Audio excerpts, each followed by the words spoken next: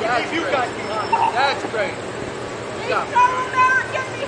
Ronald Wiltrick buried in Arlington, 2011, December 11th. For what? He lost his life for what?